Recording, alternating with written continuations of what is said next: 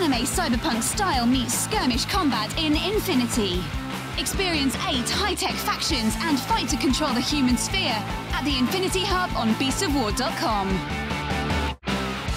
Keep your blaster handy, the West is a dangerous place. Fight to survive as men turn to monsters and the dead rise on the Wild West Exodus Hub at beastsofwar.com.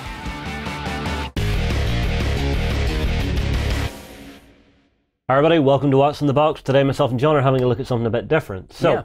uh, we're going to be having a look at some of the paint sets for Team Yankee that the guys at Battlefront have came out with. So, uh, first up, this is the American one, and we also have the, the Soviet one. Yep. I believe there's also a German one, but these are the two that we currently have Yes. sitting to hand. Um, if you guys remember back to Leopard Week, Mm-hmm. um, my painting work or my painting blog on the army that we used for Leopard Week Ah, I see. used the German paint set.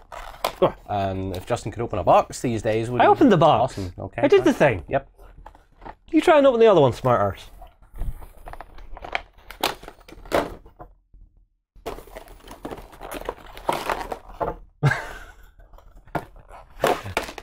oh, so cat-like, Mr. Lance.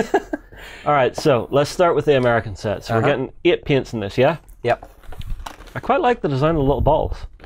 So one, two, three, four. Well, there's, Well, there's eight. seven in this one. There's eight in this one. okay, fine. There's seven. Okay, so we, we may have a mispack, but no, we don't. We shouldn't have. No, no, no, no. It's all different. It's all different. It's fine. It's fine. Everything's fine. Okay, so first up, you're going to get your Yankee green, Yep. which, uh, like I said, the bottles are kind of a cool design because they've got this sort of bullet design. Yeah. I assume this is going to be the main color that you're going to use for all your forces. Yeah. Yeah, this is basically Yankee green is essentially uh, American sort of forest green. Mm-hmm. Um, that modern sort of. It's not NATO green because America didn't like using NATO green, so they went a bit more vibrant. All right. We've then got uh, this one, which is being called Maverick Khaki. Yep. So, what would this be something you would use on your, your aircraft, or is this sort of the, the second stage tone for your camouflage? It's it's basically um, the color for the aircraft. I would say. I'd say you'd be painting your cobras and stuff in that. Yeah. Okay.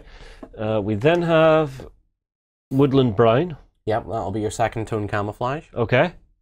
And then we have this, which is Rocket Steel. which sounds awesome, but is pretty self-explanatory. It'll be So- used as your dry brush on your weapons and stuff. Yeah. We then have Thunderbolt Grey. That sounds even cooler. It's American. it has to sound It does. It amazing sound- and awesome. Sounds awesome. So I'm guessing this is what you're going to use for all your rubbers and track pads and stuff. Yeah, yeah, definitely. All right. Uh, then have you got we have three more that I'm going to bring on out here. So we then have this is actually Cobra Drab. Ah, well, there you go. So this would be more for your aircraft then, yeah? Yeah, most likely. Okay. We then have the Warthog Green. Which is a very dark green, isn't it? Yeah, it's very, very dark. Would this be for some of your darker shading and stuff today? I'm not sure. We'll figure that out at some point. Okay.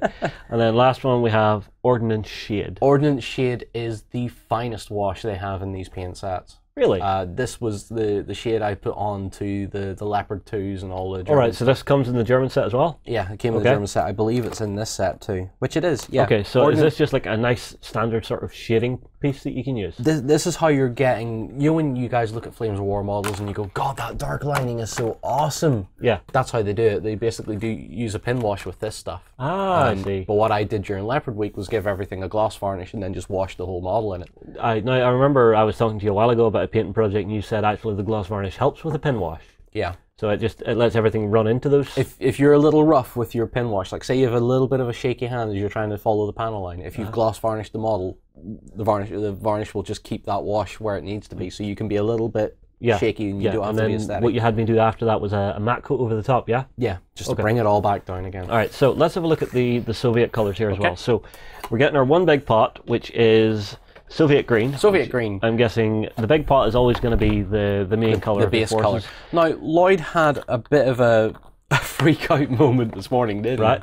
he? He was uh, he was looking around because he's painting a few things, but he's a very big Soviet enthusiast. Yes. And uh, he was looking around, going, "What green do the Russians use?" And I was like, "We don't know." And he's like, "What do you mean we don't know?" It's like, "Well, all our research, mine and Lloyd's together, realized we couldn't find a standard shade of green for anything Soviet from Second World War period up to more or less." So I'm mid-90s. assuming in the factories they just said, "Is it green? Yes. Okay, put it on." they were probably given a color swatch for their paint teams and said that's the color it needs to be and the paint the, the guys went okay, and just sprayed whatever they had. Obviously, they had to thin it down with different stuff and mix it with different stuff to keep the Yeah. paint Okay. right. So Uh, in this set, we've got another bottle of Rocket Steel to do all your steel, yes. all your highlight uh, silver work. It's like a Duke Nukem quote. Yep. They've then got your Ordnance Shade. Yep. Uh, we've then got this, which is Comrade Khaki. This will be for your Russian uniforms. Ah, I see. That is that very light khaki color uniform, We've then got Leather Brown. which I assume is for leather. Uh, you would assume. you then have this, which is Crocodile Yellow. Uh, Yeah? Yes, probably for some sort of camouflage or potentially to use as a dry brush coat over your Soviet green. And then lastly, the odd one, Hind Blue. Yes, the duck egg blue for the underneath of your aircraft. Really? Yes, You would. Why? that's sky blue, pretty much. It's very light sky blue, Yeah. but that, that, that's the color that people have been painting the underside of aircraft since the Second World War.